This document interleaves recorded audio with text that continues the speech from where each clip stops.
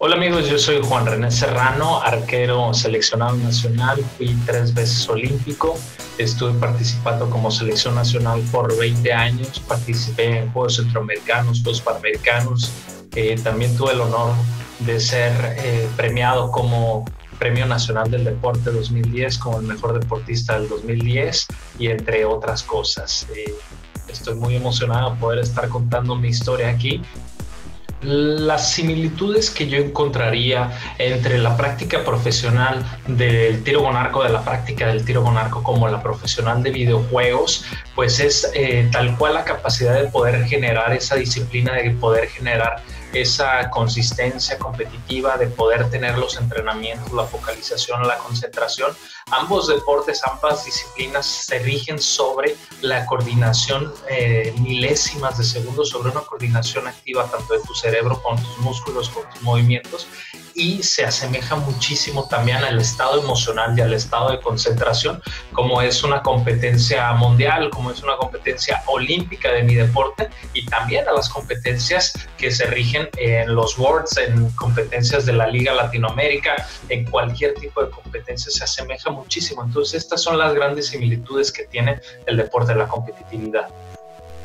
Yo creo que los esports pueden ayudar muchísimo a encontrar nuevas audiencias para el deporte tradicional, ya que hacen una similitud, es, eh, es un puente para el acercamiento a través de la disciplina, a través del juego, a través del conocimiento hacia los deportes convencionales. Y ahora los deportes convencionales necesitan de una manera pues más creciente la similitud con el deporte electrónico los esports sí, se consideran deporte porque al final requieren la disciplina y llevan, vamos, las normativas del deporte es que sea una actividad que involucre actividad física, actividad mental y reglamentaciones. los esports sí lo cumplen a pesar de que se tiene como la creencia de que no se requiere condición física, de que no se requiere preparación para los esports, requiere muchísimo esfuerzo, muchísimo gasto calórico, muchísimo gasto energético a nivel celular para poder llevar a cabo las tomas de decisiones, para poder llevar a cabo la estrategia, el pensamiento, la concentración, poder estar tanto, tanto tiempo concentrado en una sola cosa requiere mucha energía. ¿Cuál sería la necesidad de los esports para, para consolidarse como industria? El videojuego ya está, es una industria gigantesca. El videojuego es una de las industrias más crecientes de las últimas décadas y eh, los esports van, van a su par, van a su lado, si no tanto todavía como un deporte convencional como el soccer, el básquetbol, que ya se volvieron franquicias, pero les, les tardó más de 100 años poderlo generar. ¿Qué es lo que se requiere? Pues la concientización de la gente, que esto es una brecha de generación, que esto es un cambio en nuestras eh, comunidades, que es un cambio en nuestra vamos, eh, eh, en esta nueva generación digital de jóvenes y pues bueno, simplemente se necesita tiempo, yo creo. La importancia de mantener una forma física para poder practicar estos deportes electrónicos es muy alta. Si vemos las, las competencias, siempre vemos como una persona eh, supuestamente sedentaria. Sin embargo, se ha demostrado, se tiene certificación, se tiene demostrado que se requiere una capacidad biológica, capacidad física, eh, una buena oxigenación, una muy buena eh, circulación sanguínea para poder llevar esa oxigenación al cerebro, a los músculos, y esto solamente te lo puede dar el ejercicio. Entonces, realmente se necesita 100% que los deportistas electrónicos, los jugadores, tengan una muy buena capacidad cardiovascular, una muy buena recuperación para poder llevar a cabo la actividad. Eh, yo decidí involucrarme dentro de los esports hace un poco más de cinco años cuando conocí la escena competitiva de League of Legends y tal cual vi que los esports tenían una gran oportunidad de crecimiento que me apasionaba muchísimo en el momento. Fui gerente de Exten Esports eh, en la transición de Predators cuando se adquiere para una empresa mexicana y pues bueno, de ahí ahora estamos trabajando ya como parte de un grupo de inversionistas como un grupo de,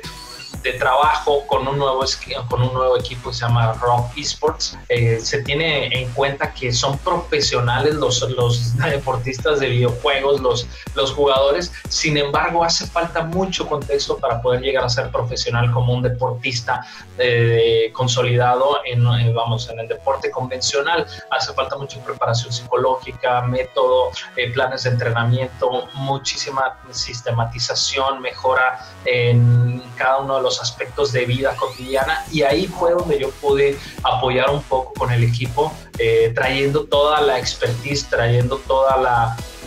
el conocimiento previo que yo ya había adquirido en mi deporte convencional para que los jugadores pudieran tener mejores capacidades. Los metimos a sesiones de psicología, nutrición, eh, preparación física, incluso también eh, fisiatría. Les dimos eh, cargas de masaje, les dimos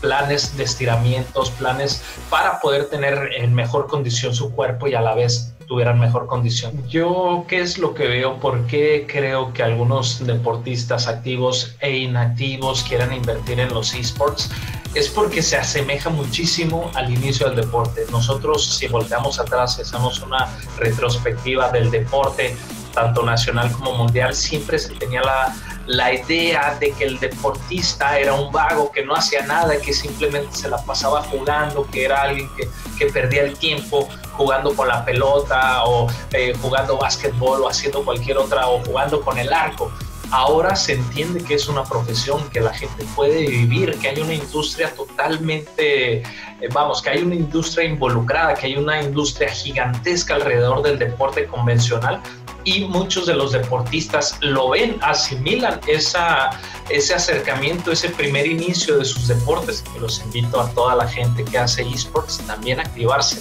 activarse en casa, activarse de manera física y el mejor de los éxitos para todos ustedes.